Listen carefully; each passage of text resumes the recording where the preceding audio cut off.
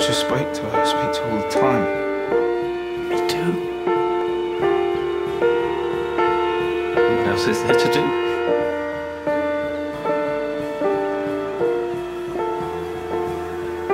She never woke up, did she, from the accident?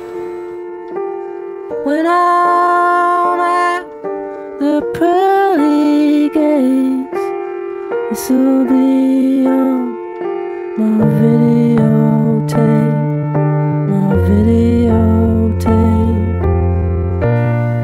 Blackstad. Never stop believing, just beneath, and is reaching up to grab me. This is one for the good.